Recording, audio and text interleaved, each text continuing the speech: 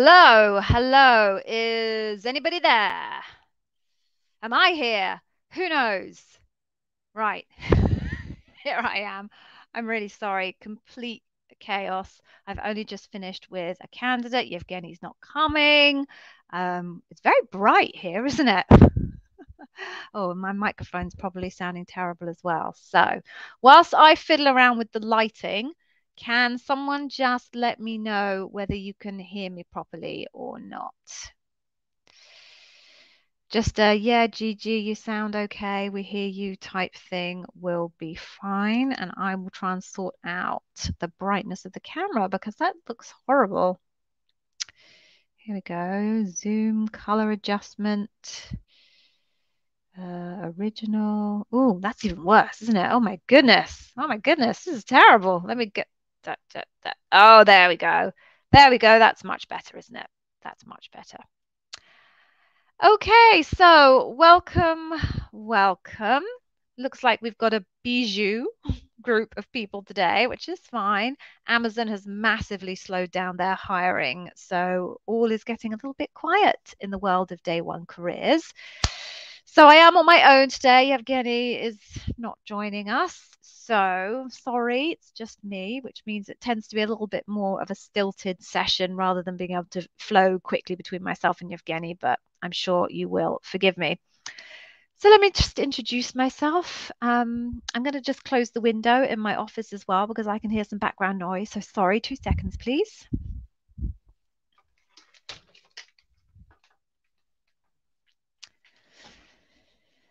Right, there we go. That's better. So I am Gigi and I am an ex uh, Amazon bar raiser here at Day One Careers to give you a little bit of a background as to how I got into this wonderful world that we're in. Uh, I mentioned that I work for Amazon. I worked there for uh, just just about five years in a couple of different business units here in the UK.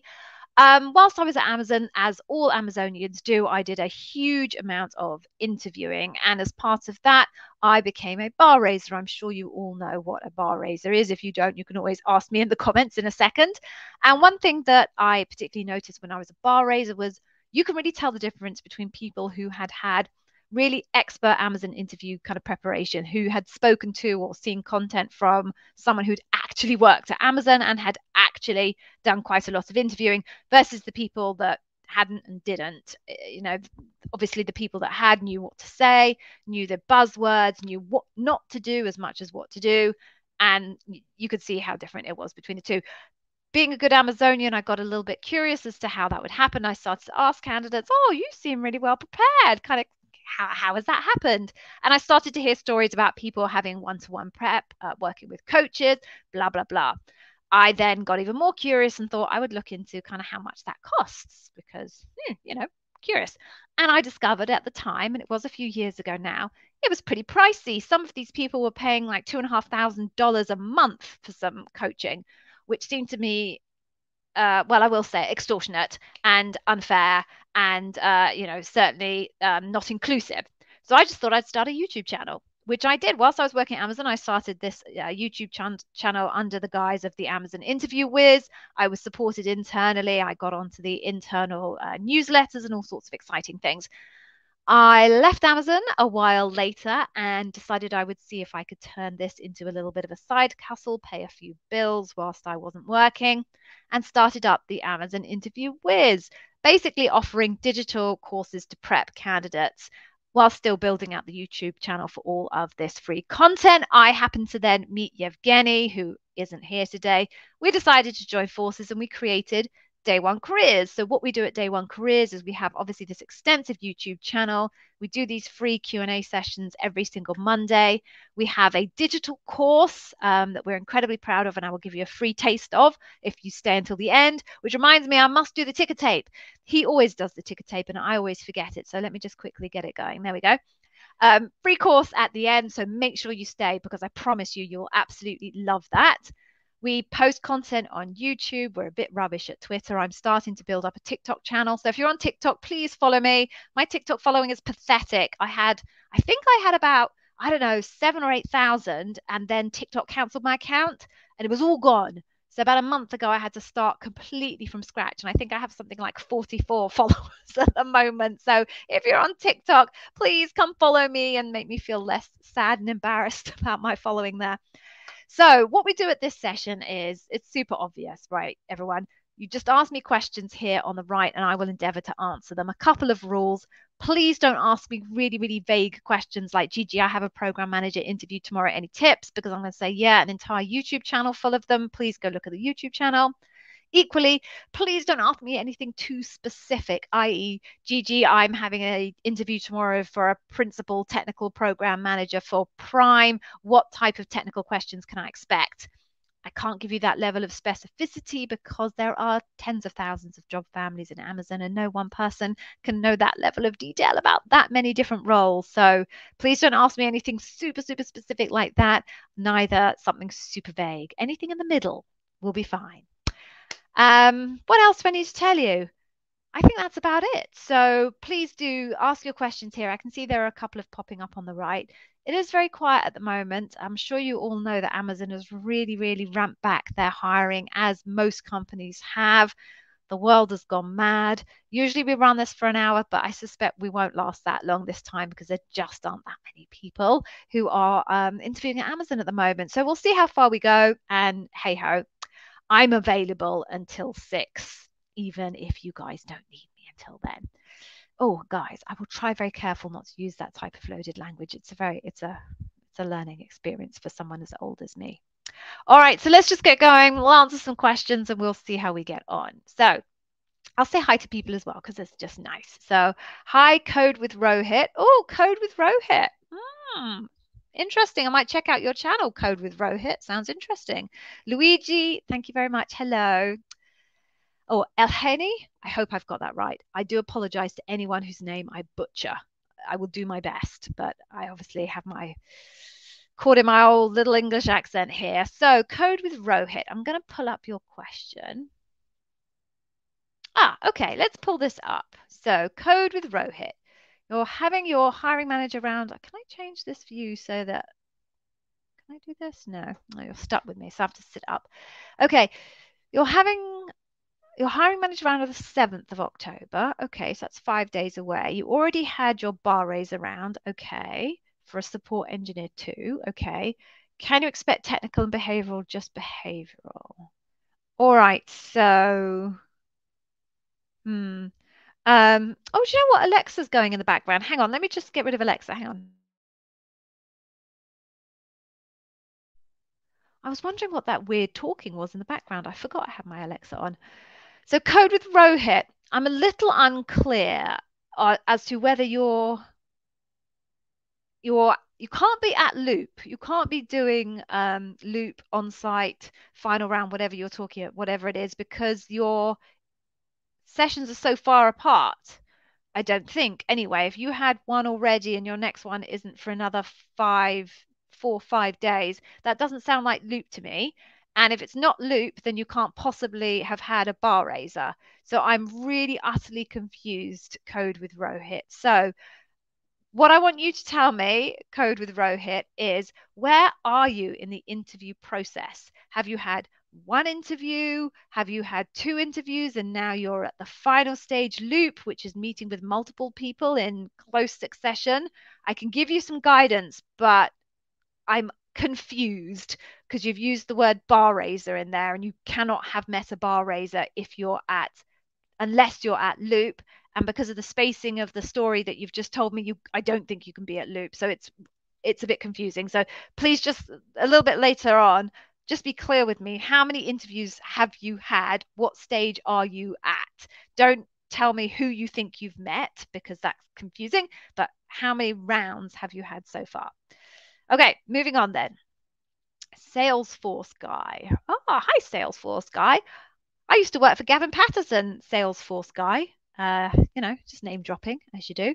So, uh, oh, I hadn't read this before I pulled it over. Congratulations, Salesforce guy. So, I, I, guess you're no longer Salesforce guy, right? You're Amazon guy. I hate the fact that this is, I'm going to lift my chair up. I don't even know if I can do that. I don't know how to change the settings on my chair. Maybe I have to sit on a box or something. Hmm. I gotta sit on a box. Hang on. I'm so far down. Change the. set. There we go. There we go. That's better. Congratulations, Salesforce guy. And you can now make yourself Amazon guy. Um, I'm so delighted that the content was able to help you. And uh, yeah, have an amazing career. Congrats. All right.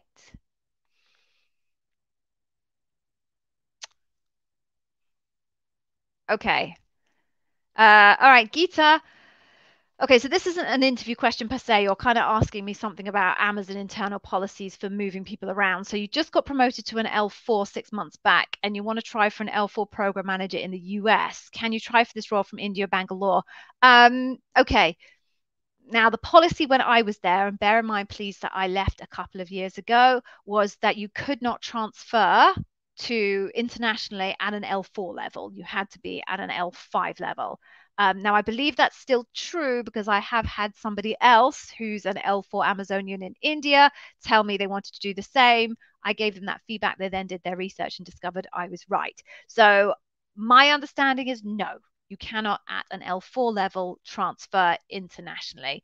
But I would suggest that rather than taking my word for it, that you do some research of your own on inside Amazon or speaking to your HRBP to find out if, or your manager to find out if that is actually the case for you. Okay, moving on. Oh, okay. El Henny, hello. So, can I tell you what happens after the interview rounds? There's a vote or something between the interviewers. Okay, so there is a video on the YouTube channel that talks about how the, it's how the Amazon interview process works. Is the video, but I will summarize it up for you here. There are many different pathways that people can go through in their Amazon interview process.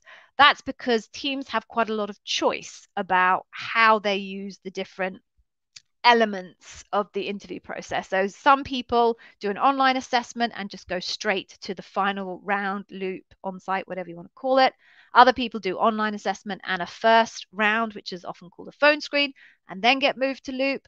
Other people do the online assessment, a first round phone screen, and then a second round phone screen, and then get moved to loop, right? So you just bear in mind that there are lots of permutations of what that process might look like.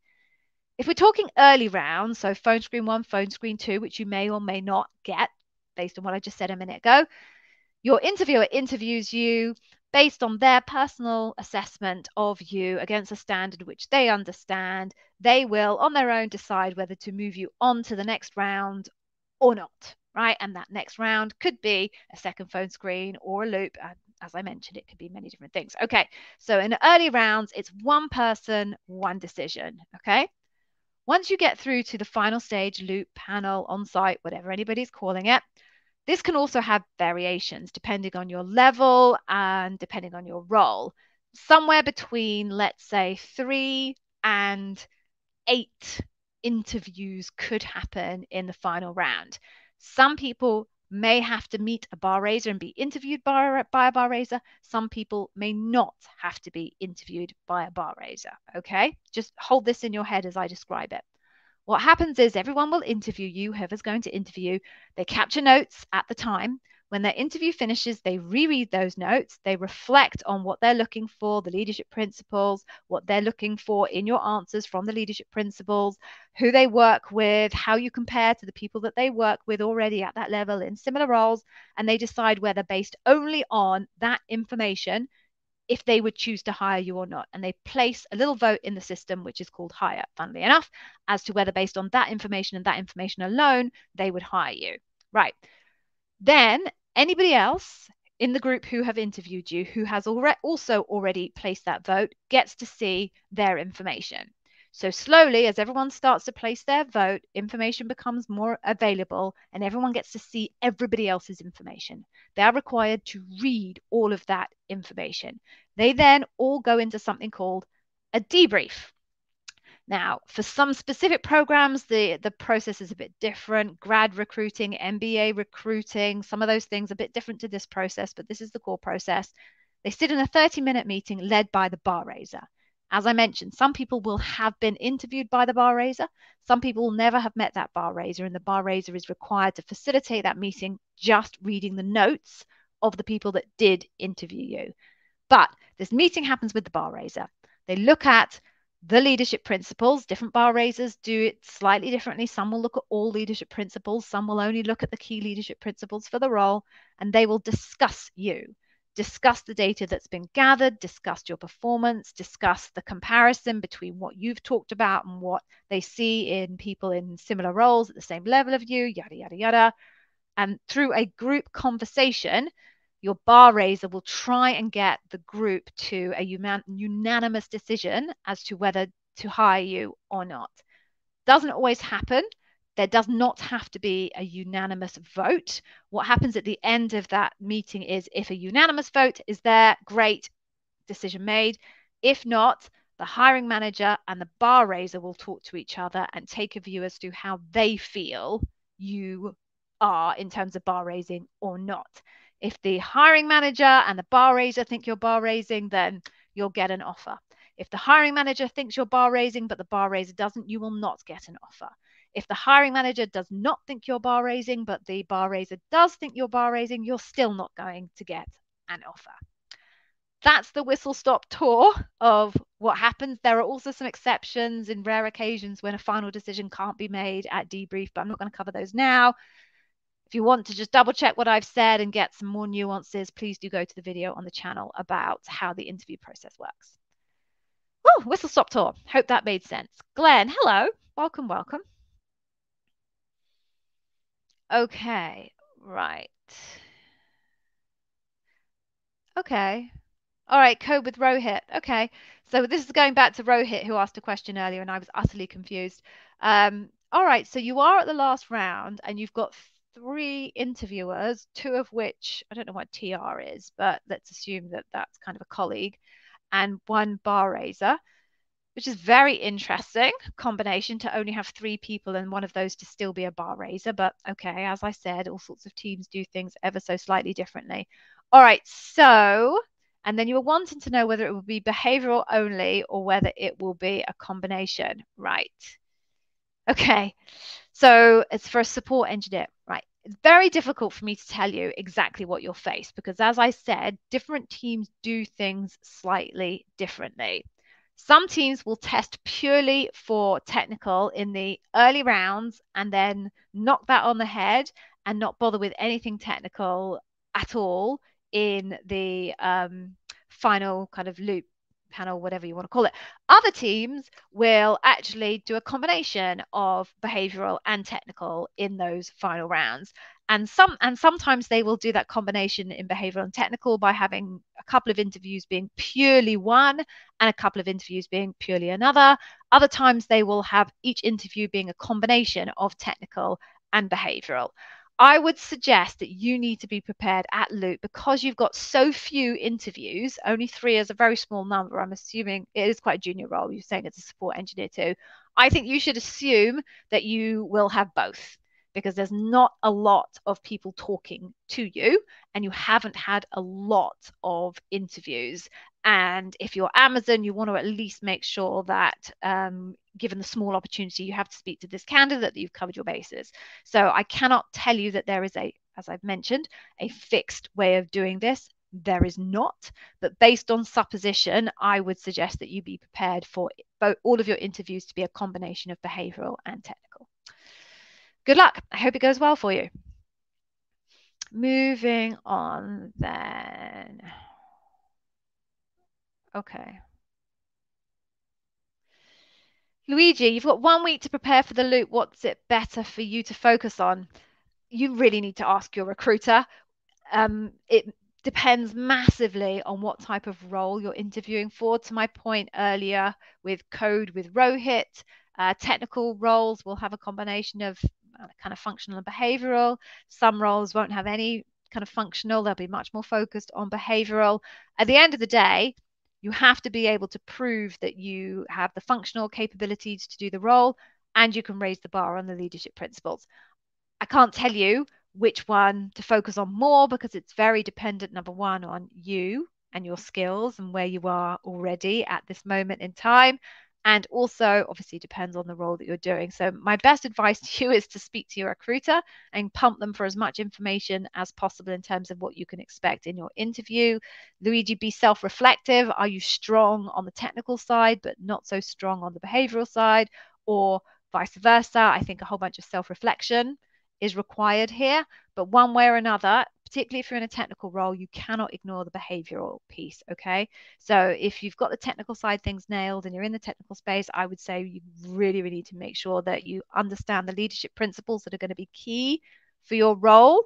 So please do check out a video that we have on the channel around uh, deconstructing your leadership principles from your job description because that will narrow down the focus that you need for your leadership principles. Also, please do ask your recruiter to tell you what the key leadership principles are. Your odds are about 50 50 for them telling you or not.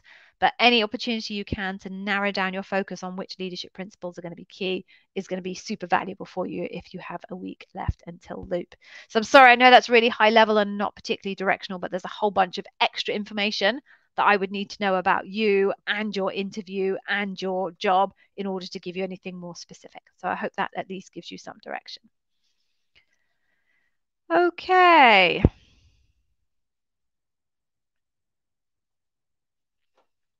All right. Anchor, hello. So you're having a loop for a TAM, technical account manager, next week. Uh, recruiter said there will be four rounds. You have eight years of experience. Should I expect L5, L6, or it depends on interview performance? Oh, I'm sorry, Anchor. It's all of the above, actually. so you could be applying for a role that is an L5, and there is no scope and no budget to make it anything other than an L5. You may be applying for a role that's an L6, and they are not interested in hiring someone who is more junior than an L6. You may be interviewing for a team that has L5 and L6 roles, and they are willing to be flexible and just find the right person. And then, excuse me, I'm going to cough.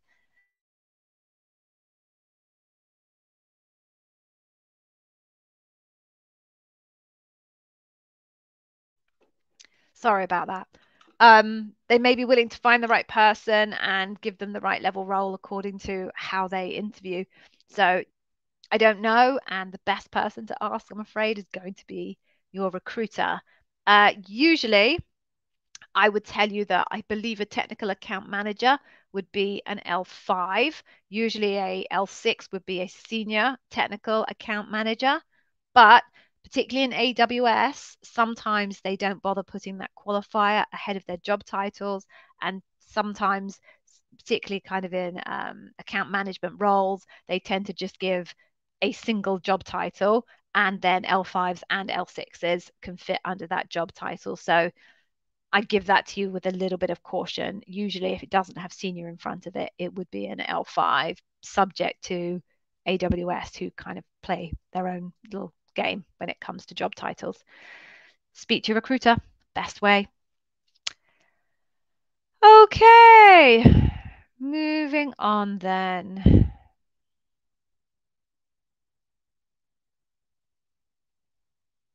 Mm, okay.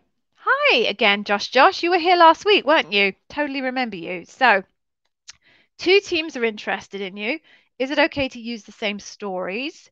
Also, the loop will happen one at a time or intermixed. Okay, that was a question. Okay, trying to think how to keep track of stories. Right, let's break this down into two parts.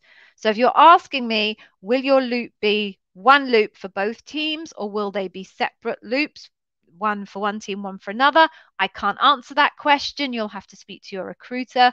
The reason why I can't answer it is teams can make different choices. So, quite often, if the teams that are interested in you are in the same business unit and are quite closely connected, kind of organizationally, they might do what they call a split loop, as you indicate there, where they combine the loop and half of the people on the loop are from one team and half of the people on the loop are from the other team. They collectively decide if you're bar raising, and then they collectively decide which of the two roles do they think they would prefer to offer you. You might not always be offered both roles, even if the team considers you to be bar raising.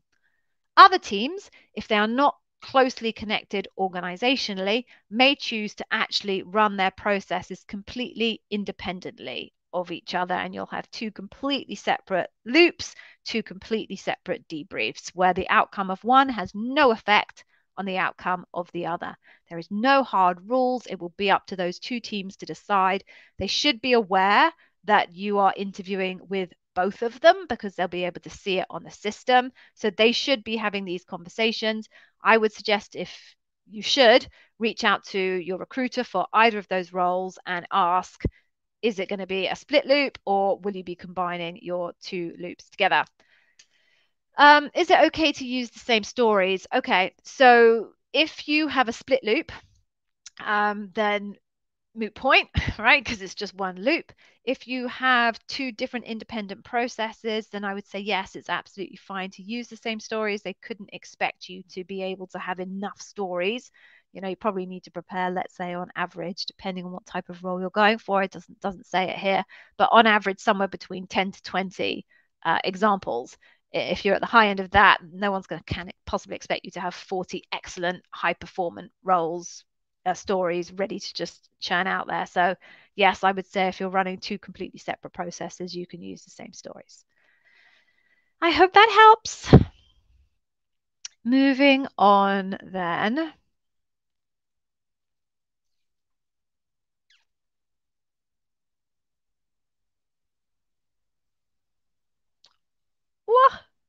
Okay.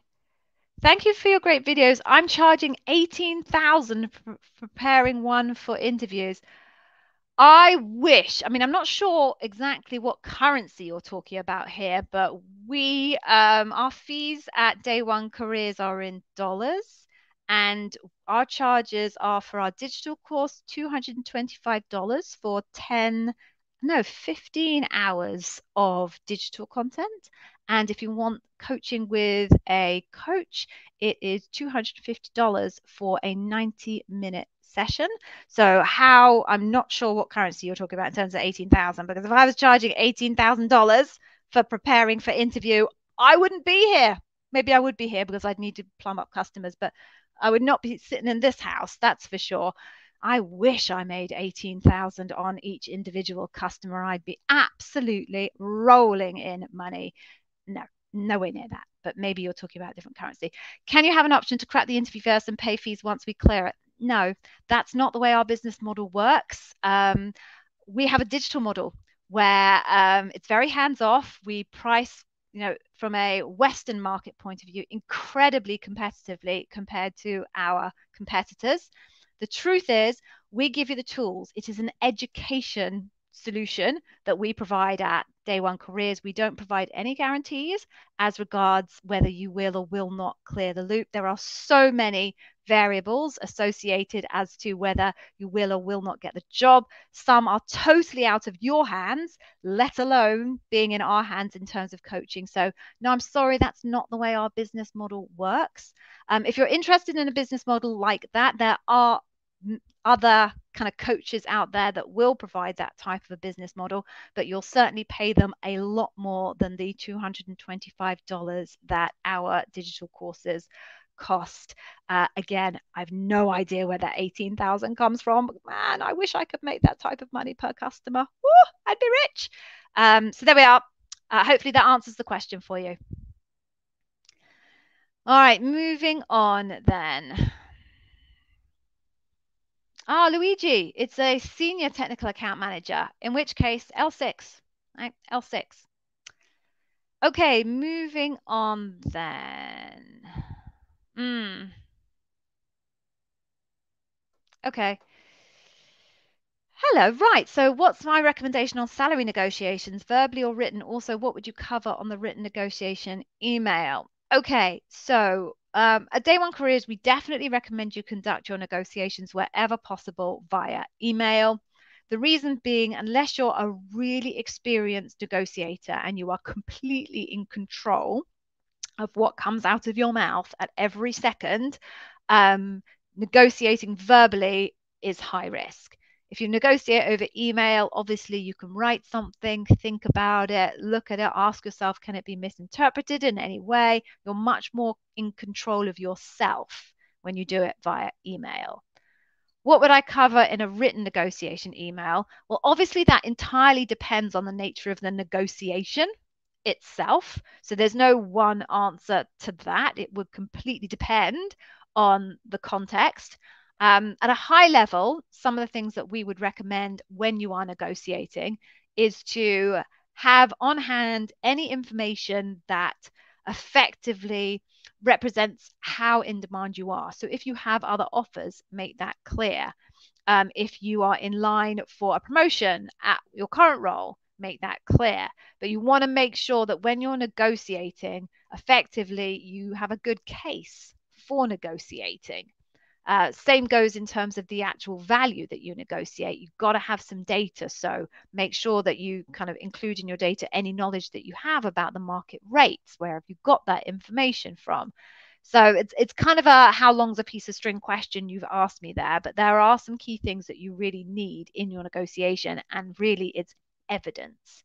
Evidence that you are desirable, evidence that what you want to be paid is a fair request compared to what they're offering you at the moment, evidence for what you might be losing out on your current role if you move. So, any bonuses that are coming your way, any RSUs that you wouldn't be able to vest, anything like that. But really, negotiation is all about leverage. So, think about what leverage you have to convince them to pay you more money. I hope that helps.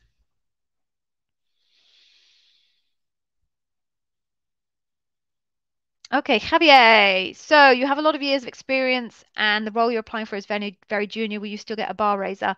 Um, well, whether you get a bar raiser or not is totally unconnected to you and your years of experience. Whether a bar raiser is going to be on your interview process or not is defined by the team and how they want to treat that particular interview process. So some you will get the same experience. So somebody won't someone applying for the role that you're applying for will not be in a situation where they get a bar raiser and you don't. Right? You'll either both get bar raisers or neither of you will get bar raisers, and that will be driven by the team's choice and process. Totally independent of anything to do with you, your experience, your skills, your years of experience, etc., etc. Hope that makes sense. Okay. What else do we have here?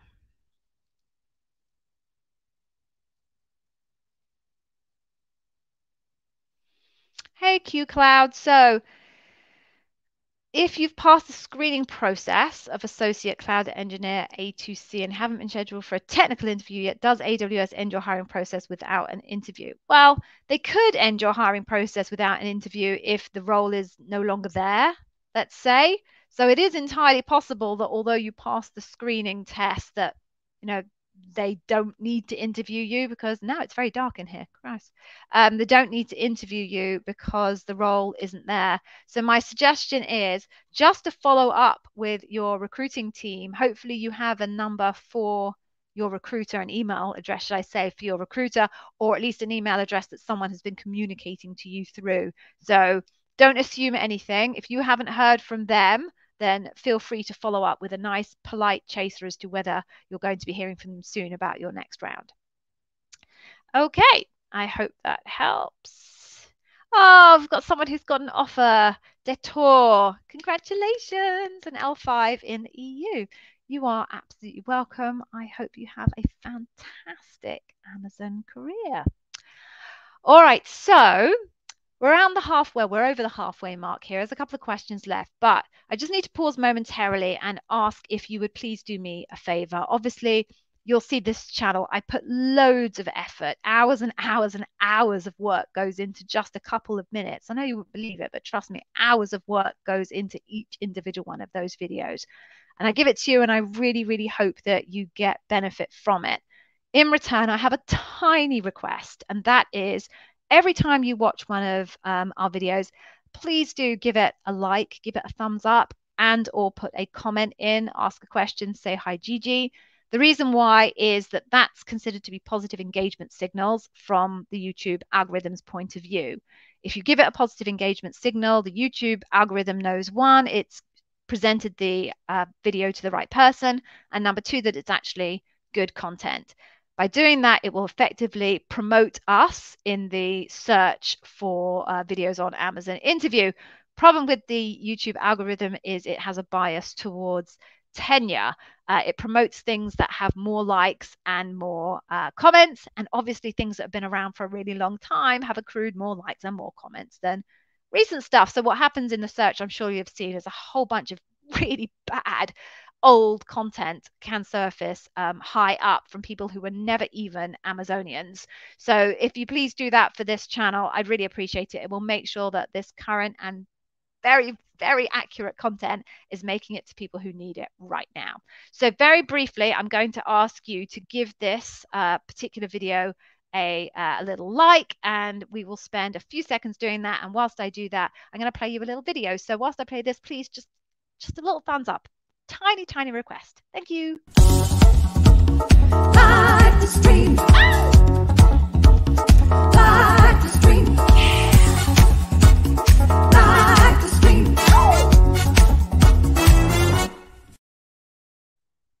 There we go. Hopefully you enjoyed those two dancing versions of me.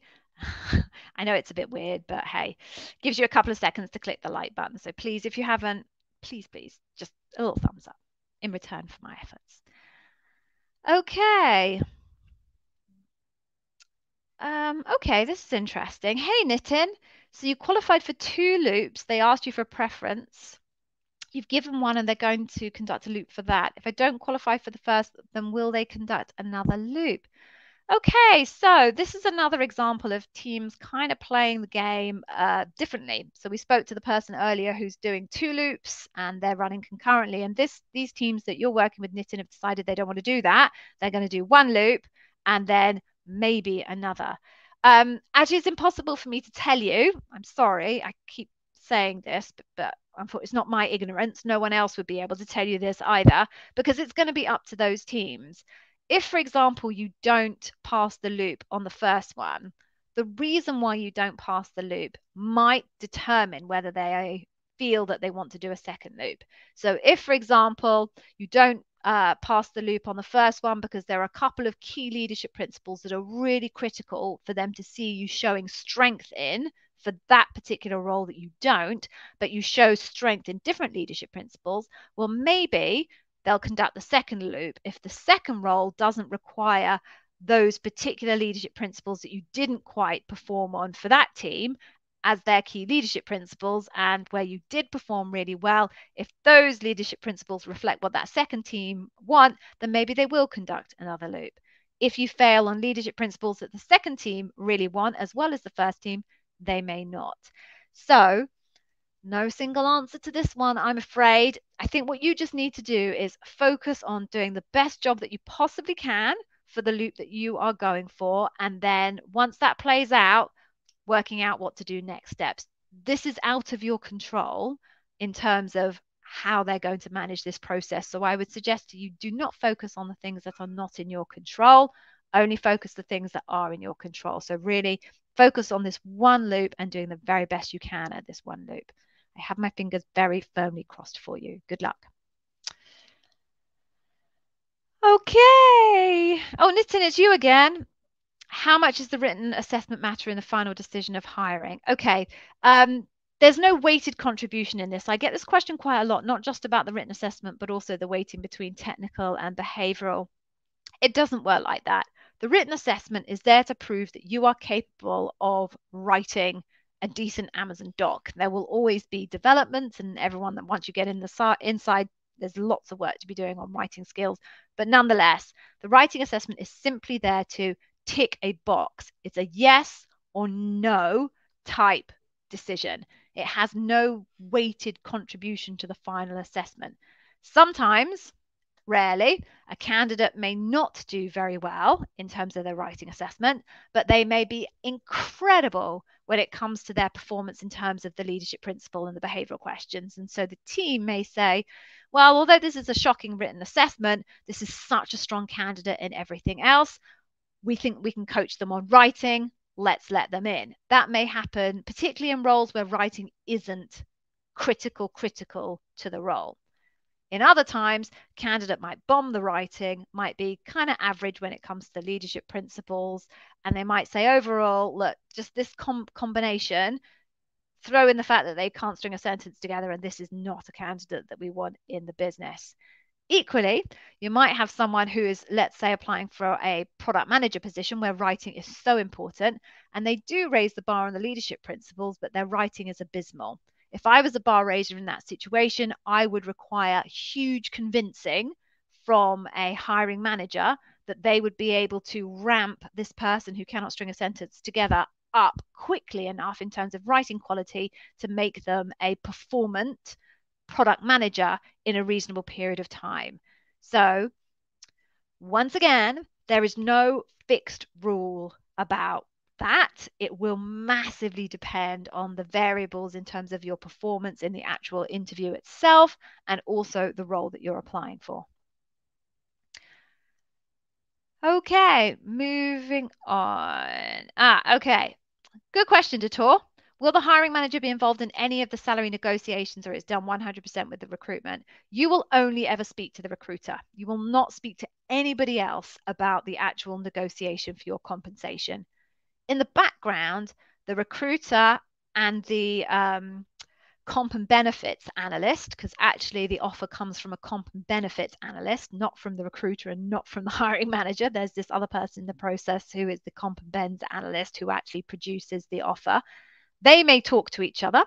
Hiring manager has very little say in the actual offer itself unless the offer is super low and the hiring manager knows that you're never going to go for it, in which case they may push the comp and bens analyst to do better. Or if the offer, uh, the team feel that they want to uh, offer you something that is above band, the hiring manager may need to get involved to get approval from senior management to approve that. But generally, definitely you will never speak to anybody other than the recruiter and the hiring manager plays a very minimal role. I know it sounds crazy because in most other companies, hiring managers play a big role because they own the budget. In Amazon, hiring managers do not own their TLC budget, total labor cost budget, and therefore they don't actually get involved very much in the compensation negotiation. I hope that answers that question. All right. Okay, cool. Nitin, Looks like we're getting to the end of the questions, folks, which doesn't surprise me because we're a relatively small group. So if you have any more questions, please do bang them down. If not, we will wrap up a little bit early. Nitin again, bar raiser interview, is it always the last or can they conduct it in between? It is not always the last. It's just based on people's availability. So there's no particular sequence that interviews happen in, and there doesn't need to be because to my point a little bit earlier, all of the data is gathered together and discussed in one meeting at the end. So the sequence in which those interviews happen is totally irrelevant. So you will meet people purely based on the availability of their calendar. Okay, so that said, it kind of looks like we are um, dried up in terms of questions. So what I'm going to do for you now is I said that I was going to give you an amazing freebie. So please do go to this URL here. Uh, this will give you a free one of our courses. It's the Customer Obsession Masterclass. And effectively, it literally tells you everything you need to know about customer obsession, right? It teaches you the four facets of customer obsession. So you've read the leadership principles. You they're big paragraphs, right? Well, within there, there are actually multiple different kind of versions of customer obsession. And we've created a learning model at Day One Careers called Facet to help you really understand each leadership principle and very easily identify examples from your past that fit that leadership principle. It will also tell you what the interviewer is looking for in your answers, like literally what the interviewer is looking for in your answers when it comes to customer obsession. And also, there is a mock interview there, me interviewing me, showing you how the whole thing can come together in an actual interview itself. It also gives you access to our free Discord community. We've got about how many? 2,000, maybe more than 2,000 Amazon candidates in our Discord community at the moment. Obviously, not all active at the same time, but they help each other out. They ask each other questions. They get together and do mock interviews with each other. They learn about each other's experiences, what questions they were asked, what type of technical questions they're asked. Like, it's a great community there that really help each other. So, even if you're not that interested in the course, which you should be, trust me, but even if you're not, sign up to it and you'll get access to that Discord community and you can work with uh, other people like you who are going through the same process as you. So I do urge you to go and take a look at that course. Okay, so that's it for today. For those of you who uh, managed to get roles, congratulations. Very, very proud of you. For those of you who have interviews coming up, fingers crossed, I wish you a very, very good luck. Uh, if you have further questions, feel free to drop them in the comments in any of the videos. Again, please, if you do watch any of our videos, just give it a little like. It, it really takes a millisecond on your part in return for at least three hours effort per video for me. Um, we would be very grateful. See you next week. Take care. Bye.